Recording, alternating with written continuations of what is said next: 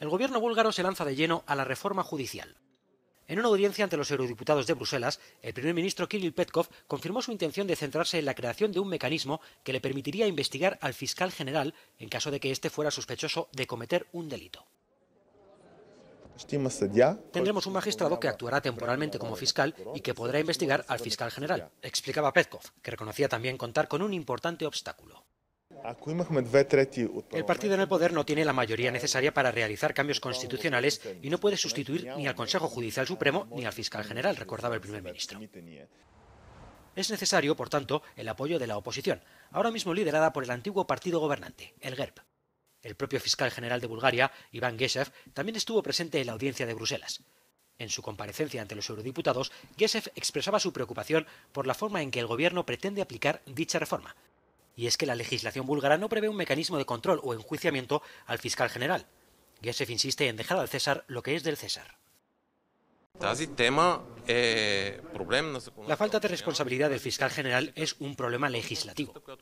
Los diputados no siguen las recomendaciones de la Comisión de Venecia y del Consejo de Europa.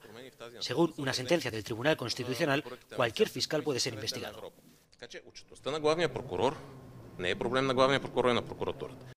La experta en Derecho Constitucional Natalia Kiselova explica a Euronews cómo podría llevarse a cabo esta reforma judicial. El magistrado se determinaría de forma aleatoria y se le otorgaría la condición de investigador frente al fiscal general, explica Kiselova. Recogería pruebas para apoyar la acusación.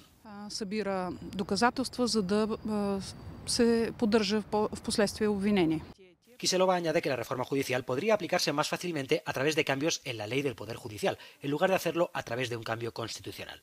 Esto daría al Consejo Judicial Supremo búlgaro el poder de dar al magistrado elegido el derecho de investigar al fiscal general.